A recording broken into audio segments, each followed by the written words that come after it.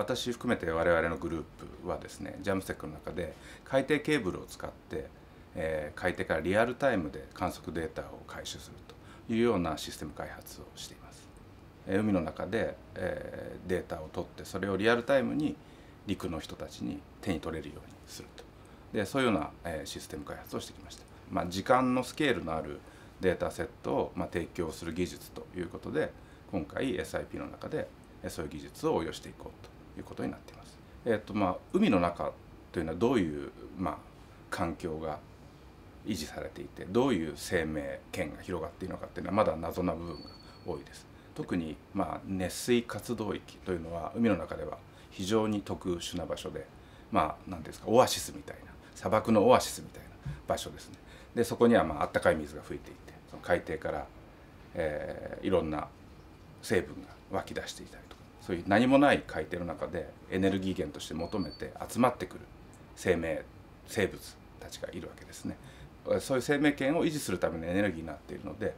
まあ、そういうようなところの活動がどんなような時間軸でタイムスケールで変化しているのか、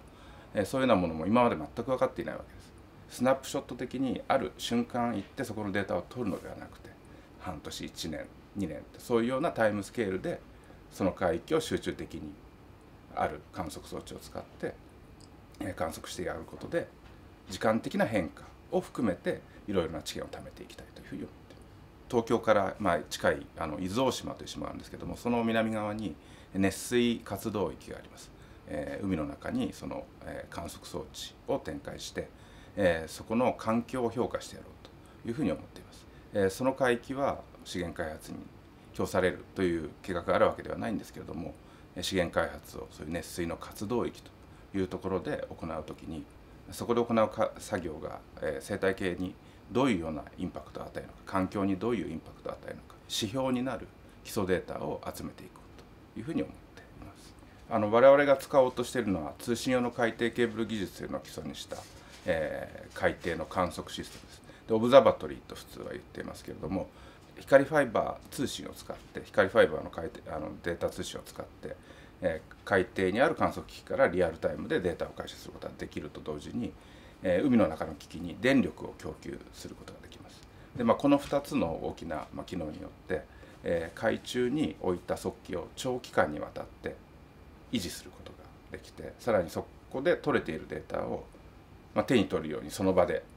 陸ですぐに見ることができるというようなシステムです。今ここに持っているのが通信用の海底ケーブルのカットモデルになります。真ん中に光ファイバーのデータラインが入っていてこの銅の色をしているところが、まあ、給電のラインで電気を流しているところです。これはあの光の通信なので例えばあの皆さんのご自宅に最近インターネット用に、まあ、引かれているような光の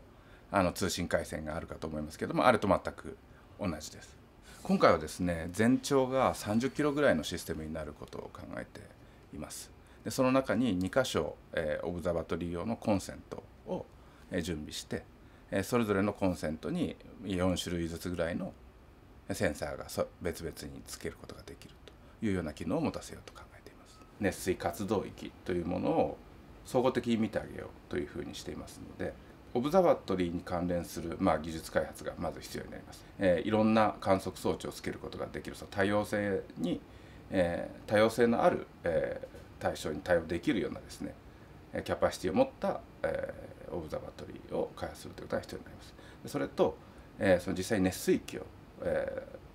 ー、いろいろな目で観察するための新しいセンサーシステム自体の開発というのも必要になってくる。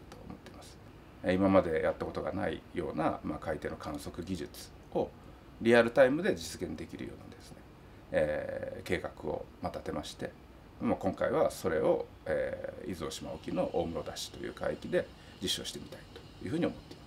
す。資源開発にかかわらずですね、まあ、今あるその自然の状態であるコンディションを、まあ、人が別の手段で、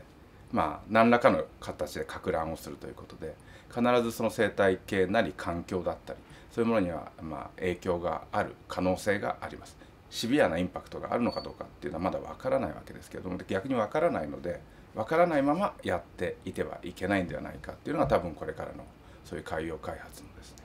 えー、トレンドになってくるんだと思います。ですからまず理解した上でそこの海域を何らかの形で、えー、前段階実際にやっている時と。でそれが終わった後回復すると。いうこの3つのステージで、まあ、今やってるような技術は使わ